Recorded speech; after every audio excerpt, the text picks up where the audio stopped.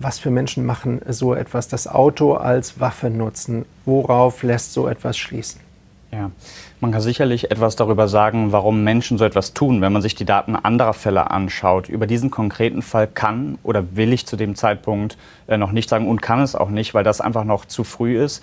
Und gerade in diesen Lagen ändern sich auch die Informationen, die man für gesichert hält, permanent. Ich erinnere nur an den Terroranschlag in Wien, wo es hieß, sechs, vielleicht sogar sieben Täter sind mhm. unterwegs.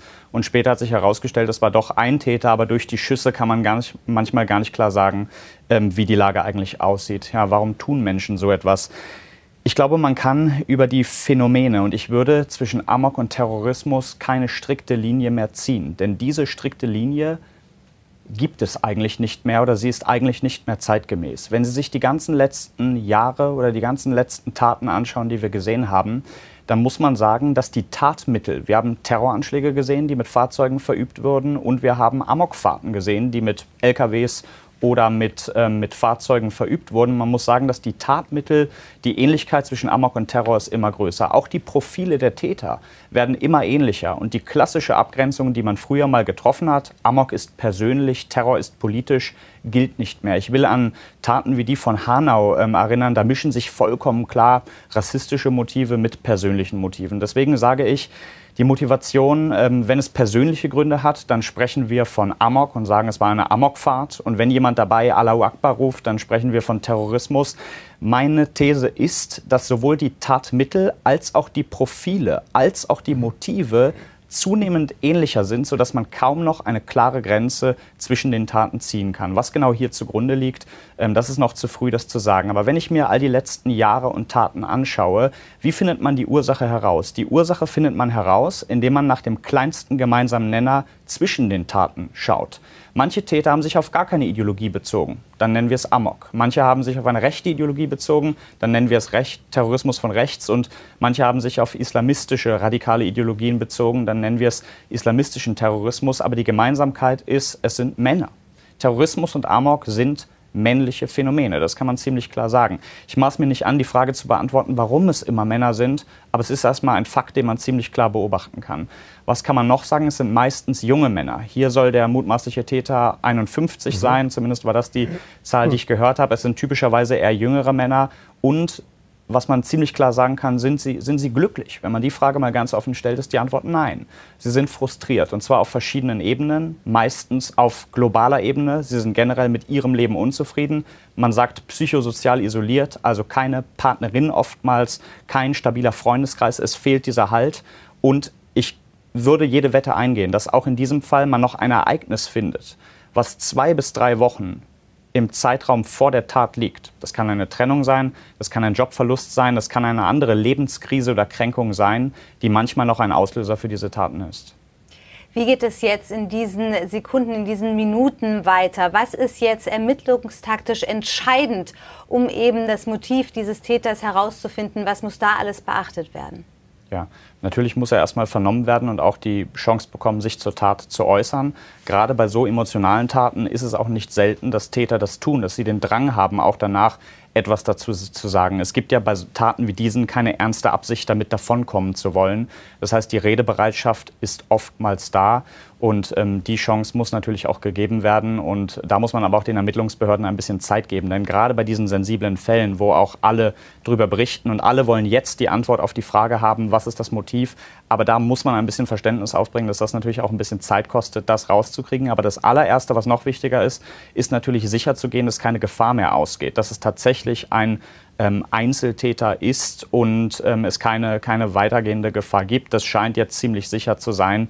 Ähm, zumindest wenn man sich die Aussagen der Polizei anhört, ähm, scheinen sie nicht davon auszugehen, dass es weitere Täter gibt. Aber auch im Falle von Amok bin ich kein Freund von diesem Begriff des entweder, entweder die Tat einer Gruppe oder des Einzeltäters. Denn Taten passieren nie im luftleeren Raum. Die Personen haben ja immer einen gewissen Umkreis, eine Familie, ein Umfeld, vielleicht Chatgruppen, in denen sie sich befinden. Das heißt, auch wenn die Motive höchst persönlich sind, gibt es immer ein Umfeld, was dabei auch eine Rolle spielt. Und das gilt es natürlich auch zu analysieren, herauszukriegen, was möglicherweise die Ursache war und auch herauszukriegen, das ist nicht unwichtig, ob die Tat länger im Vorfeld geplant war oder ob es ganz impulsiv war. Das Tatmittel Fahrzeug spricht eher dafür, dass es nicht von langer Hand geplant war. Und auch der Ort. Jemand, der, wie man das oft bei terroristischen Taten sieht, wenn das Ziel darin besteht, möglichst viele Personen in einem kurzen Zeitraum mit in den Tod zu reißen, dann gibt es durchaus andere Tatmittel, beispielsweise Schusswaffen oder andere Orte, größere Menschenansammlungen, die bessere Ziele, besser aus Sicht der Täter vollkommen klar ähm, wären. Das heißt, hier gibt es einige Hinweise darauf, dass es möglicherweise doch typisch für ähm, Amoktaten etwas ist, was sehr impulsiv aus einer vielleicht Kränkung oder einer Krise ähm, herausgekommen ist. Und eine Sache, die jetzt weniger fachlich, sondern eher persönlich ist, aber nach aller Erfahrung, was man über Kriminelle sagen kann, kann ich als Faustregel mal sagen, drei Krisen sind eine zu viel. Menschen können bis zu zwei Lebenskrisen ziemlich gut handeln. Das ist auch etwas, was mir einer meiner Ausbilder damals ähm, gesagt hat, ein sehr erfahrener Agent aus den USA, der sich auch viel mit, mit Suiziden beschäftigt hat oder Personen, die an der Kante stehen. Und er sagt, wenn sie zwei Lebenskrisen haben, gibt es eine gute Chance, dass sie zurückkommen. Bei der dritten springen sie.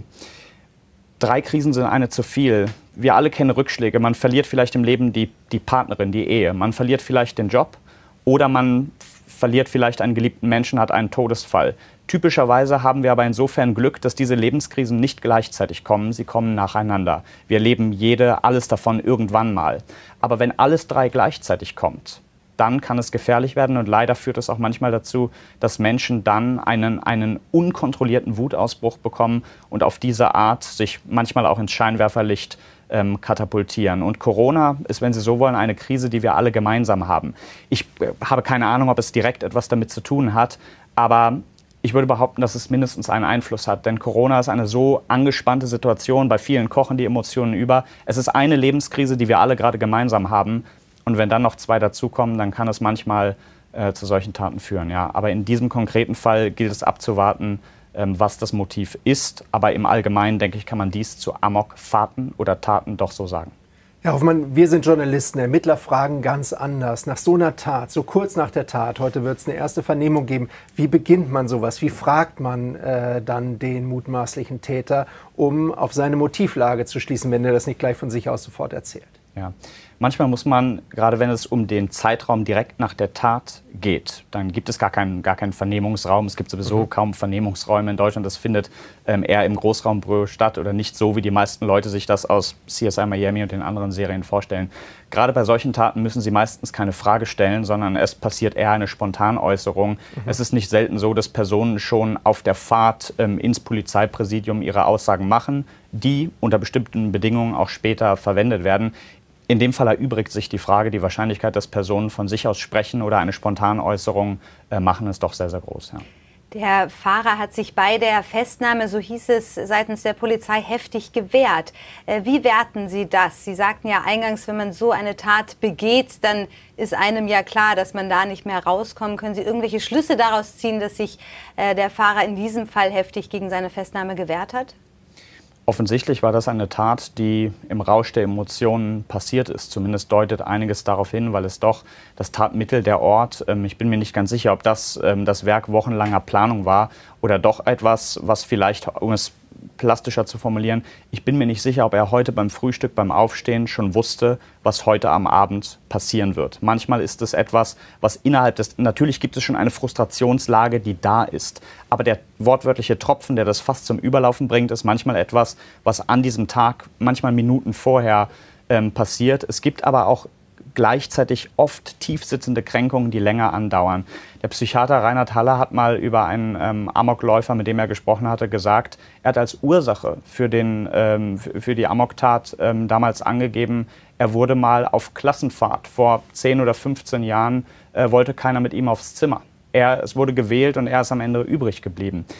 Das mag aus unserer Sicht fast lächerlich klingen. Vor 15 Jahren wurde er mal ähm, auf irgendeiner Klassenfahrt nicht gewählt. Aber es gibt manchmal, das sind Narben auf der Seele. Es gibt manchmal